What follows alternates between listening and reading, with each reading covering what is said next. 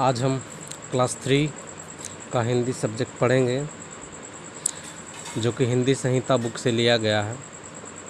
इसका फ़र्स्ट अध्याय, पहला अध्याय है, जब सूरज जग जाता है।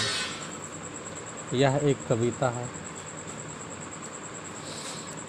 पहले इसका हम कविता परिचय देखते हैं। प्रातःकाल सूरज के आने पर रात अपनी अंधकार रूपी चादर समेट कर चली जाती है। हर तरफ़ उजाला ही उजाला छा जाता है। पंछी ची ची करके गीत सुनाते हैं। हर तरफ़ खुशियाँ ही खुशियाँ छा जाती है। इस कविता में सूर्य के आने पर प्रकृति में क्या क्या परिवर्तन होता है, उसके बारे में बताया गया है।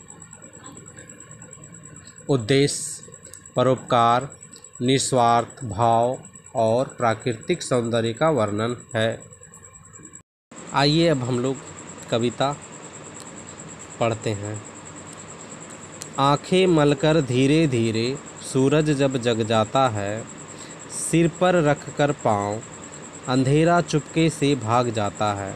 इन पंक्तियों में यह क्या कहा गया है कि जब सुबह होती है और सूरज उगता है तो अंधेरा दूर हो जाती है और हर तरफ़ उजाला ही उजाला होता है।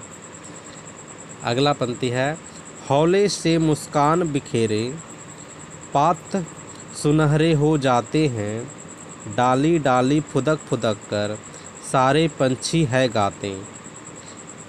इन पंक्तियों में यह कहा गया है कि हौले से मुस्कान बिखेरे पात सुनहरे हो जाते हैं। पात का मतलब होता है पत्ता। पत्ता अर्थात पेड़ पौधे के पत्ते। मतलब जब सूरज की किरणें सुबह सुबह पत्तों पर पड़ती है तो पत्ते जो है सुनहरे कलर, सोने के कलर मतलब खुशहाल हो जाते हैं। पत्ते जो है खुशहाल हो जाते हैं। मतलब कि कह सकते हैं कि पत्ते क्या है? हरे भरे हो जाते हैं। और डाली डाली पर पंछी जो है फुदक फुदक कर गाने गाते हैं। थाल भरे मोती लेकर धरती स्वागत करती है। नटखट किरने वन उपवन में खूब चौकड़ी भरती है। इन पंक्तियों में यह कहा गया है कि जब सूर्य की रोशनी धरती पर पड़ती है तो धरती उसका स्वागत करती है। और सूर्य की किरणें जो है, वन में, उपवन में खूब जो है चौकड़ियाँ लगाती है। सूर्य की किरणें हर तरफ़ फैल जाती है। वन में, उपवन में, जंगल, झाड़ में, है ना? सारे में सूर्य की किरणें जो है, मैदानी क्षेत्र में, हर जगह मतलब धरती के हर उस कोने तक सूर्य की किरणें पहुँच जाती है। और धरती जो है उजालामय हो जाती है। कलकल बहती हुई नदी में सूरज खूब नहाता है, कभी तैरता है लहरों पर, डुबकी कभी लगाता है। इन पंक्तियों में यह कहा गया है कि धरती पर जितने भी नदी हैं, उस पर भी सूर्य की किरणें पड़ती है और उस पर पड़ते ही उसके चारों तरफ़, नदी के चारों तरफ़, नदी के पानी के चारों तरफ़ सूर्य की किरणें बिखर जाती है और चारों तरफ़ फैल जाती है। पर्वत घाटी पार करे, मैदानों में चलता है दिन भर चलकर थक जाता, साँझ हुए फिर ढलता है। इन पंक्तियों में यह कहा गया है कि जब सूर्य की किरणें निकलती है तो पर्वत, नदी, पर्वत, घाटी, ये सबसे होते हुए शाम होते ही शाम होते ही वो डूब जाता है। सूर्य की रोशनी जो है ख़त्म हो जाती है और फिर से अंधेरा ढलने लगता है। नींद उतरती आँखों में, फिर सोने चल देता है। हमें उजाला दे करके कभी नहीं कुछ लेता है। इस पंक्ति में यह कहा गया है कि सूर्य की रोशनी और सूर्य जो है, नींद उतरती, आँखों में फिर से सोने चल देता है और हमें उजाला देता है और हमसे कभी भी कुछ नहीं लेता है। मतलब ये ज़िंदगी भर हमें उजाला देती है पर हमसे कुछ भी नहीं मांगती है। यह कविता जो है, रामेश्वर कंबोज हिमांशु के द्वारा लिखी गई है। अब हम लोग देखते हैं, हमने पाठ से सीखा। परोपकार अर्थात दूसरों की मदद करनी चाहिए। पहली बात जो हमने सीखा, परोपकार अर्थात दूसरों की मदद करनी चाहिए। दूसरा निस्वार्थ मतलब बिना स्वार्थ के, बिना कोई फ़ायदे के, निस्वार्थ भाव से कार्य करना चाहिए। तीसरा जो पॉइंट है, सूर्य के उदित उदित मीन्स उगते ही। सूर्य के उदित होने पर प्रकृति में नवीन चेतना का संचार हो जाता है। आइए अब हम लोग शब्दार्थ देखते हैं। अंधकार।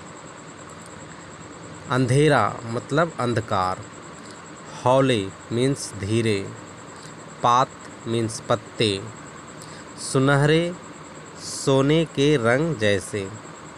नटखट शरारती। किरणें रोशनी की या प्रकाश रेखा। उपवन मीन्स बगीचा, बाग, चौकड़ी। जानवर का चारों पैर एक साथ उठाते हुए दौड़ना या छलांग लगाना, चौकड़ी कहलाता मतलब चारों तरफ़ घूमना, ये चौकड़ी कहलाता। अगला है पर्वत। पर्वत, पहाड़ घाटी का मतलब होता है पर्वतों के बीच का स्थान। घाटी। साँझ मतलब शाम। इसमें कुछ मुहावरे दिए हुए हैं। पहला है चौकड़ी भरना मतलब उछल कूद करना, छलांग मारना। सिर पर पाँव, दूसरा है सिर पर पाँव रख कर भागना। मतलब बहुत जल्दी भाग जाना। अब हम लोग देखेंगे बोलिए और लिखिए। इसको बोलना है और अपने कॉपी में लिखना भी है।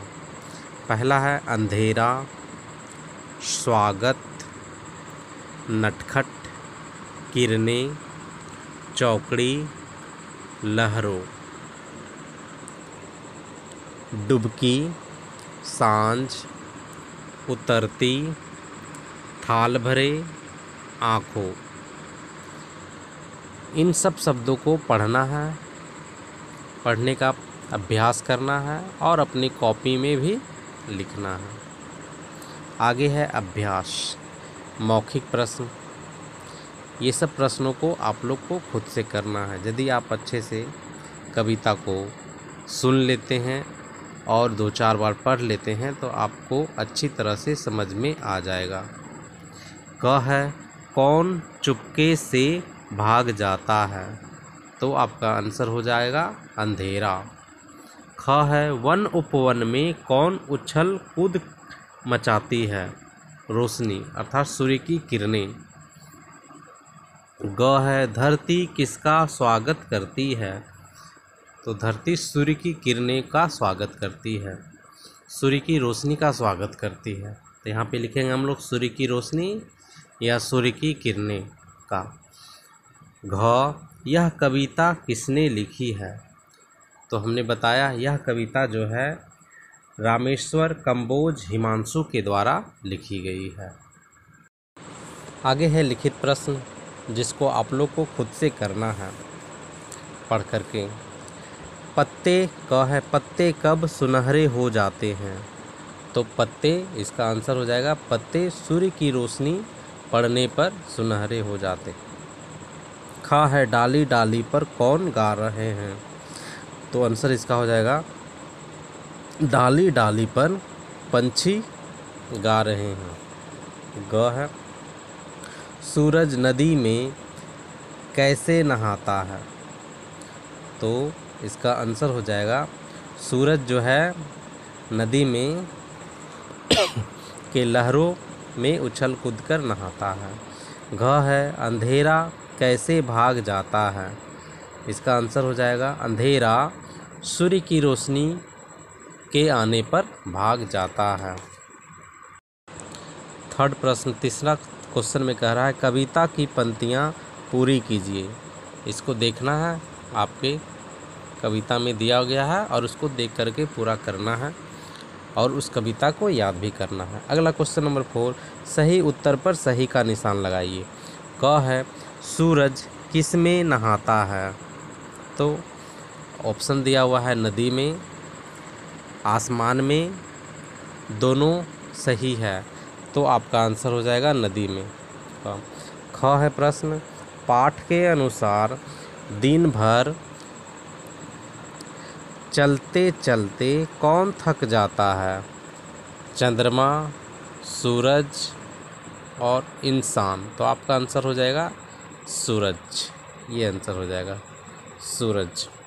ग नंबर है पाठ से क्या सीखती, सीख मिलती है? उछल कूद करो दिन भर चलते रहो, सबकी भलाई करो।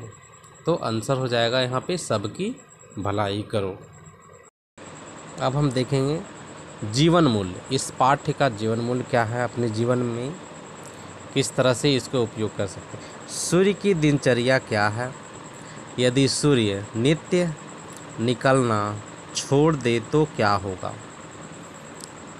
यदि सूरज डेली नहीं निकले तो क्या होगा? इस पर विचार करना है। पाठ से सूरज की कौन कौन सी विशेषताएँ पता चलती है? इस पर भी विचार करना है। तो इस प्रकार हमारा पहला अध्याय, सूरज जब जग जाता है, पाठ, कविता जो है, उसकी समाप्ति होती है। आगे का प्रश्न आप लोग खुद से कर सकते हैं। कोशिश कीजिए।